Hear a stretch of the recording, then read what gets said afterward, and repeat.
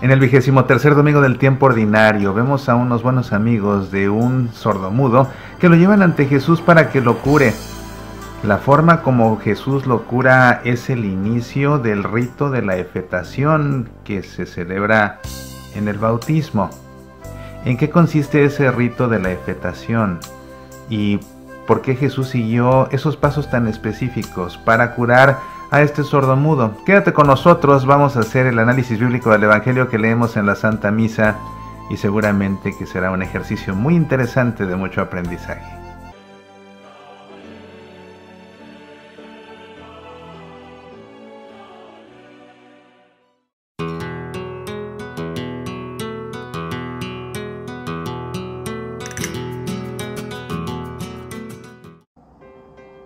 Hola. Como sabes, porque ya te lo he platicado, este junio sufrimos un tremendo percance que nos ha dejado sin estudio de grabación. Este tiene que ser reconstruido y la obra tardará meses, pero con tu ayuda podremos lograrlo.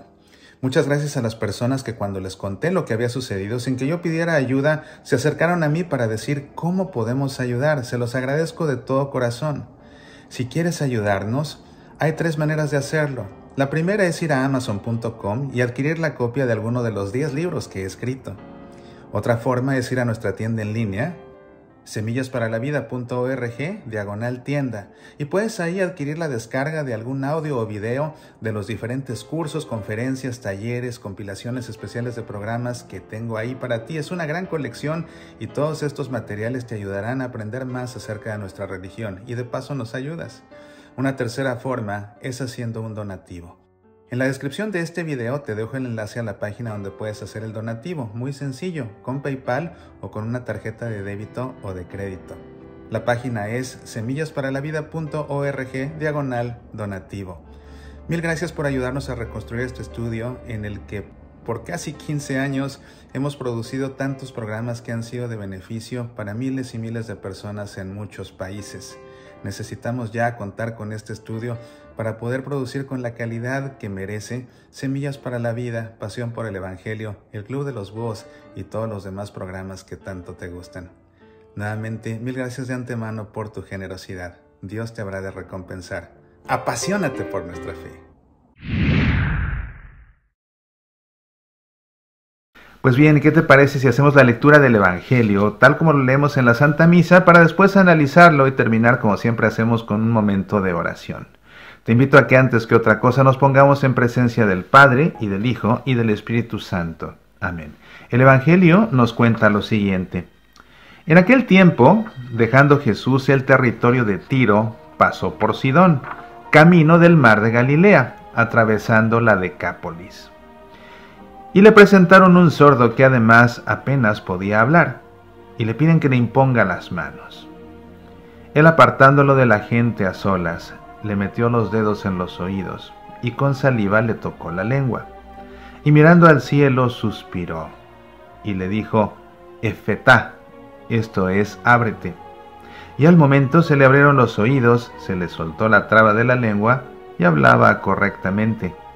Él les mandó que no le dijeran a nadie, pero cuanto más se los mandaba, con más insistencia lo proclamaban ellos, y en el colmo del asombro decían, todo lo ha hecho bien, hace oír a los sordos y hablar a los mudos.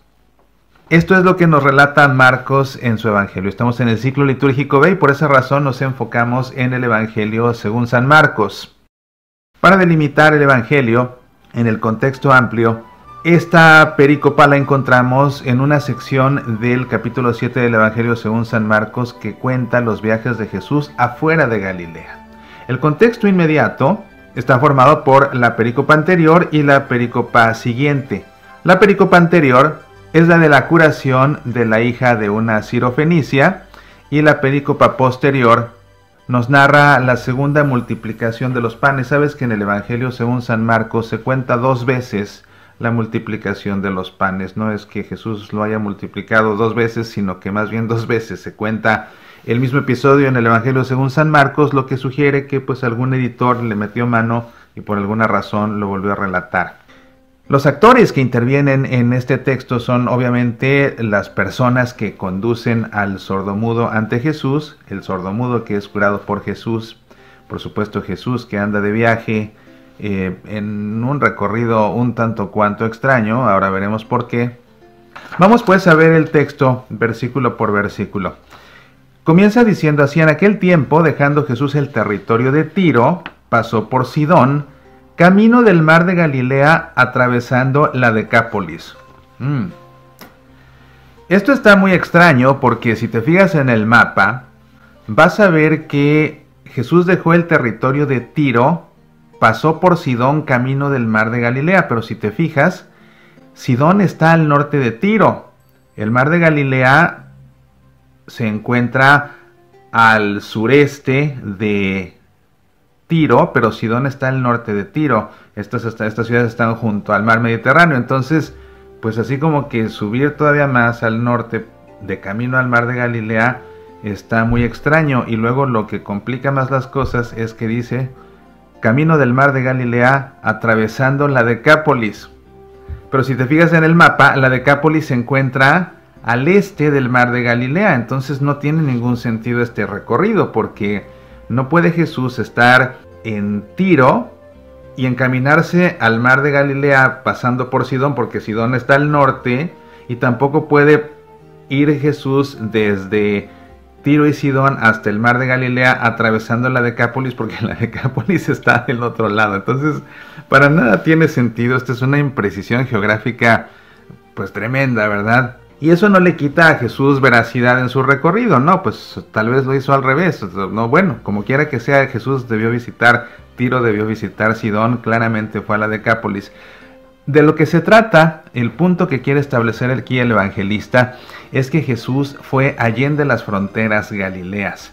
¿Y por qué es esto importante? Porque Jesús entra a tierra de paganos, entra a tierra de gentiles.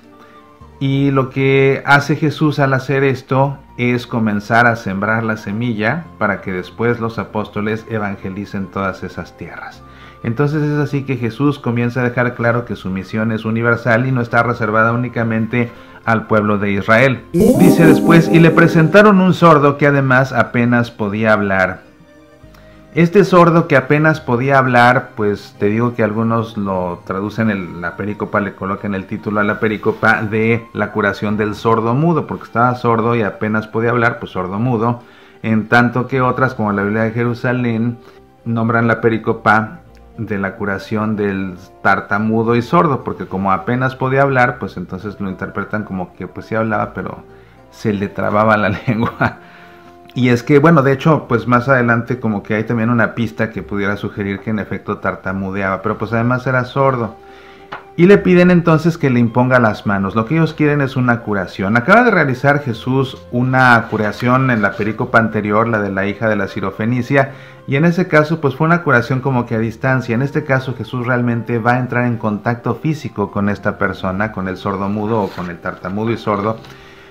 Y lo que hace Jesús es muy interesante, pero antes, bueno, vale la pena siempre resaltar aquí la fe de las personas que le llevan al sordo mudo, ¿verdad? Esas buenas, esos buenos amigos, por eso en la introducción del programa decía unos buenos amigos llevan a un sordo mudo porque pues qué buenos amigos, ellos creían en Jesús y por eso le llevan al, sordo sordomudo para que Jesús lo cure. Y eso habla de la fe que tenían estas personas que pues al final se quedan todavía mucho más impresionados. Ellos sabían que Jesús era capaz de curar a su amigo el sordomudo, por eso lo llevan con él, pero al final se quedan tan sorprendidos que por eso aunque Jesús les prohíba que comenten nada, ellos no se pueden aguantar las ganas y de todas maneras lo comentan. Entonces viene aquí la serie de pasos que sigue Jesús y vale la pena poner atención a cada uno de ellos. ¿Sabes que de este gesto que hace Jesús para sanar a este sordo mudo surge el rito de la efetación?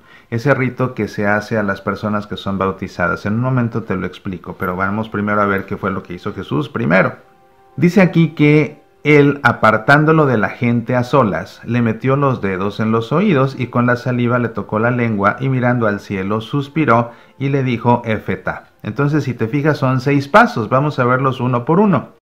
El paso uno, apartándolo de la gente a solas. Fíjate cómo Jesús, para realizar este portento, para realizar esta curación milagrosa, se lo lleva a solas. Y Jesús lo va a sanar en la intimidad. Jesús no está haciendo el milagro por lucir su poder sería muy bueno lucir el poder porque pues seguramente que mucha gente lo seguiría, creería en él por eso, así como sucedió cuando la multiplicación de los panes, aunque vimos después en el recuento eh, que hace Juan en el Evangelio, que estuvimos viendo en la, en la misa en los domingos anteriores, pues la gente se impresionó mucho con el milagro de la multiplicación de los panes y los peces, pero después cuando Jesús les predica y les dice que es el pan del cielo, dejan de creer en él. Entonces no necesariamente los portentos sirven para la fe de las personas y Jesús esto lo quiere mantener en secreto a toda costa, por eso se lo lleva, lo aparta de la gente, que nadie vea, que nadie sepa, que nadie sea testigo de, lo que está pasando, pero además lo que quiere Jesús es un momento de intimidad con el enfermo y eso siempre resulta muy conmovedor. Imagínate el, el intercambio ahí entre esos dos a solas. Después dice, le metió los dedos en los oídos. Esto es interesante. ¿Para qué le mete Jesús los dedos en los oídos? Pues para destapárselos. ¿Por qué no oía? Porque tenía los oídos tapados. Entonces al Jesús físicamente meter los dedos en los oídos, se los destapa. Y si te fijas, era sordomudo, pero Jesús no le cura primero la lengua y después los oídos, sino al revés, le cura primero los oídos y después la lengua.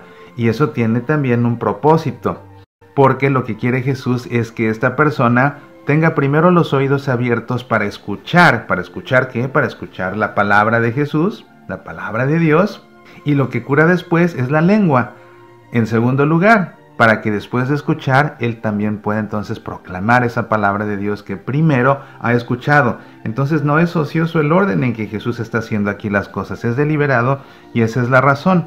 Entonces, para curarle los oídos, le mete los dedos en los oídos y de esa manera se los destapa. Y después dice, y con la saliva le tocó la lengua. Entonces Jesús se humedece los dedos con, con, su saliva y con esa saliva toca la lengua de esta persona. ¿Para qué?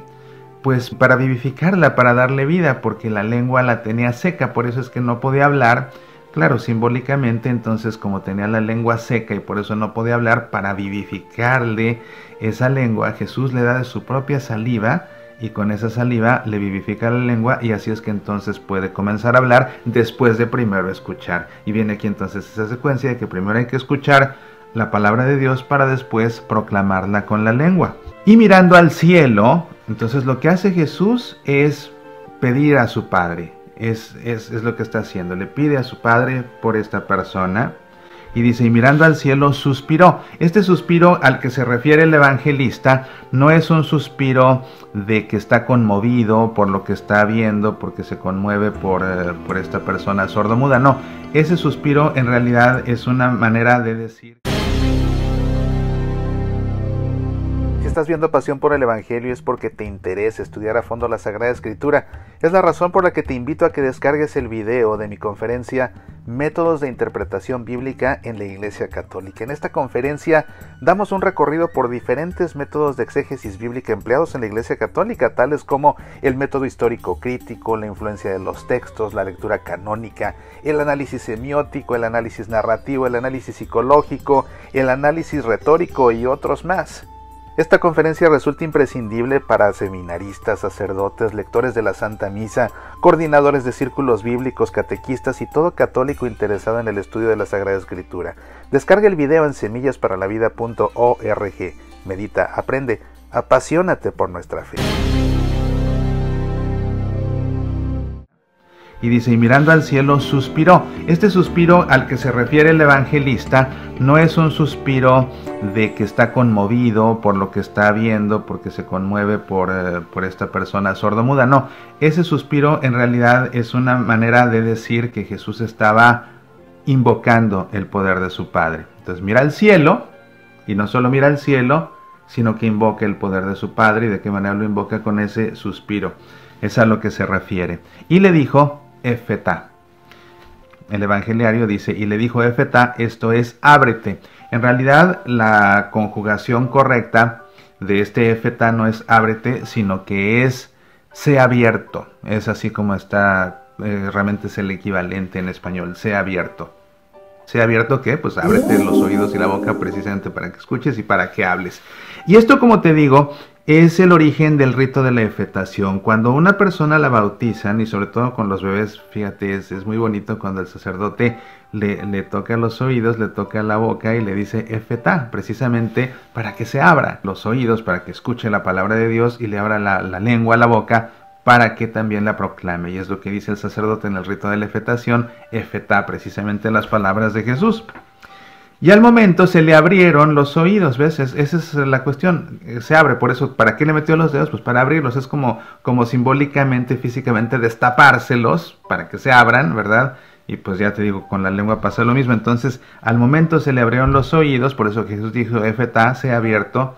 Se le abrieron los oídos, se le soltó la traba de la lengua. Por eso es por lo que en la Biblia de Jerusalén se refieren a un tartamudo. Y hablaba correctamente. Y entonces fíjate cómo sí, pues viendo esto yo creo que entonces sí en efecto no era mudo, sino que era tartamudo, porque no dice se le soltó, se le abrió la boca y comenzó a hablar, sino que dice se le soltó la traba de la lengua y hablaba correctamente, lo que significa que antes no hablaba correctamente, lo que significa que entonces pues era un tartamudo como dice la Biblia de Jerusalén. Mira las cosas interesantes que hasta el vuelo puede uno comenzar a comprender. Después dice, Él les mandó que no le dijeran a nadie. Recuérdate que una idea consistente en el Evangelio según San Marcos es este secreto mesiánico del que ya te he hablado en otras ocasiones. Cada vez que Jesús realiza un portento, un milagro, una curación, le pide a la gente que no le digan a nadie, no le digan a nadie. Él quiere guardar en secreto que es el Mesías hasta que llegue realmente su hora. Como no ha llegado la hora, entonces les pide guardar secreto y eso es lo que conocemos como el secreto mesiánico que como te digo es una idea recurrente en el Evangelio según San Marcos y dice aquí pero cuanto más se los mandaba con más insistencia lo proclamaban ellos lo desobedecían por completo pero aquí vemos por qué lo, desobedecían no era por malagradecidos ni por faltarle el respeto al maestro. Aquí viene la razón y en el colmo del asombro decían todo lo ha hecho bien entonces, si te fijas, dice, en el colmo del asombro. Es decir, estaban tan asombrados al máximo, pero están colmados, están colmados de asombro, están llenos de asombro, tan llenos de asombro de lo que habían visto. Claro, no fueron testigos de cómo Jesús lo curó al amigo, pero lo vieron que se lo llevó sordo y tartamudo y que regresó escuchando y hablando perfectamente bien. Entonces se quedaron sorprendidos. Y pues mira, ya dado que todos aquí desobedecen a Jesús, seguramente que el enfermo ya sanado le contó a sus amigos, ahora que ya puede hablar, seguramente que le contó a sus amigos lo que había sucedido y la forma en que sucedió. Y así es que en el colmo de las hombres decían, todo lo ha hecho bien, hace oír a los sordos y hablar a los mudos. Aquí son dos referencias muy interesantes al Antiguo Testamento y la primera es de mucho peso porque nos remonta al libro del Génesis.